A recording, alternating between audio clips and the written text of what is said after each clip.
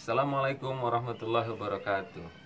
Alhamdulillah setelah pertemuan pertama kita telah menyelesaikan tiga ayat menghafal surat An-Naba dari ayat 1 sampai ayat 3 Insya Allah hari ini kita akan melanjutkan menghafal surat An-Naba ayat keempat.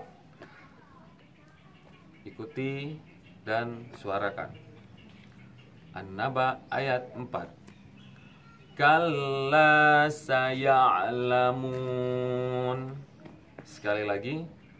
Kalla saya'lamun. Sekarang ikuti gerakan saya. Kalla sekali-kali tidak Saya'lamun. Kelak mereka akan mengetahui. Kalla sekali-kali tidak saya alamun kelak mereka akan mengetahui. Kita coba. Kalla saya alamun kalla saya alamun silakan dicoba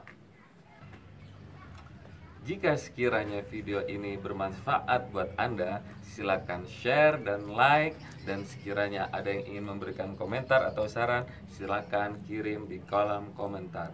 Wassalamualaikum warahmatullahi wabarakatuh.